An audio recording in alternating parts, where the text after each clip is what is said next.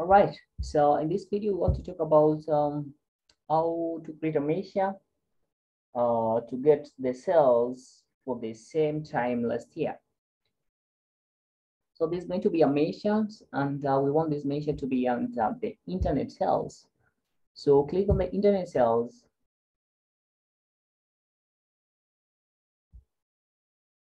Uh, it should be on the, the data view, then click on new measure.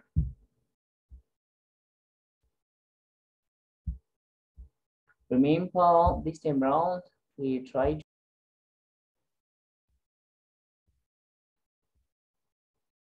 So the name of the measure we we said we're going to call it prior year. So I'm going to change this.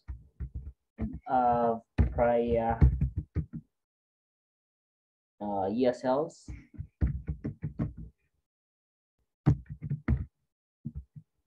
And uh, for this measure, we are going to use the calculate function.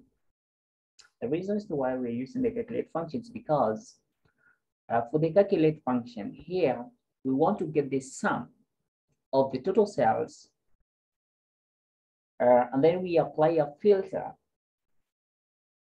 And the filter, this, this filter is going to be same time last year. So we're going to have uh, total sales because um, total sales is what you're trying to calculate. And then uh, that is, remember, if you look at uh, the calculate function, uh, the first argument is an expression, then the next thing is a filter. So we want to uh, apply a filter called same period last year because this is prior year sales. And then these are prior period uh, last year.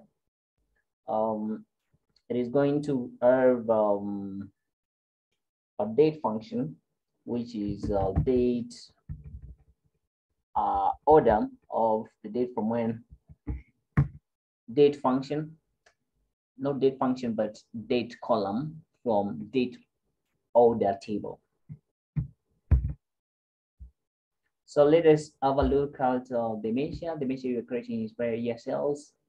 Uh, we are using the calculate our function. So the calculate is trying to give us the sum of the total sales and then we have a filter here that is same period last year. And this is according to uh, the date function on the date order table.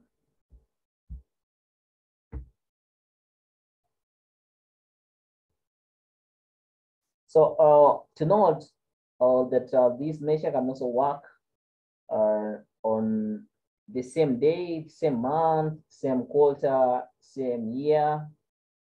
So we can change this to same uh, if you are dealing with dates or if you have um, the cells uh, arranged in quarterly or um, if the cells arranged in monthly, then you can have same period last year and then this is going to be month, it's going to be date, it's going to be quarterly, it's going to be but this time around, this time round, we have the same period last year because we're dealing with a year.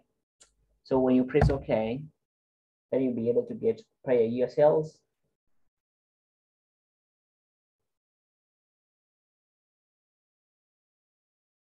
And we want to create a table just uh, to see uh, how were the sales last year.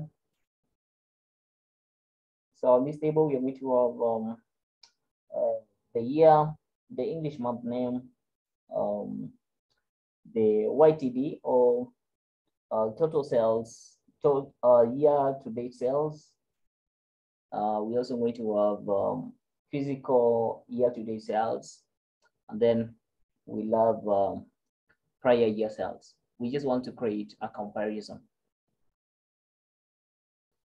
There's not much that you use the table, you can use a graph, you can use um, or whichever chart of your interest.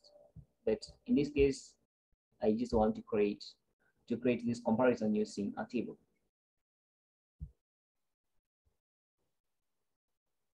So here's our table. And um, let, let, let, me, let me put the table on focus mode. Um, so in this table we have the year, English month name, the total sales. Let me remove total sales for now. Uh, instead of total sales, we're going to have um, uh, the fiscal uh, year-to-date sales, then um, we don't need the fiscal year-to-date sales. Let me remove that. Um, so we need uh, year-to-date sales, and then we include the prior uh, year sales.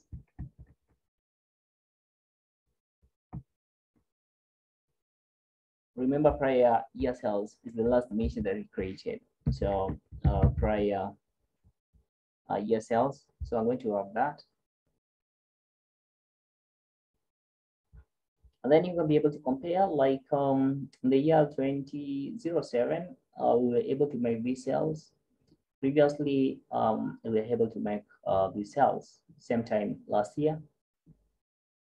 And then you can compare some other times you're going to have an increase, some other times you're going to have a drop because the, the purpose of this function prior to year sales, or the purpose of this measure was just to create comparison between what we sold uh, this year and what we sold same time last year. So if you like the content of this video, consider subscribing to the channel, uh, share, and comment.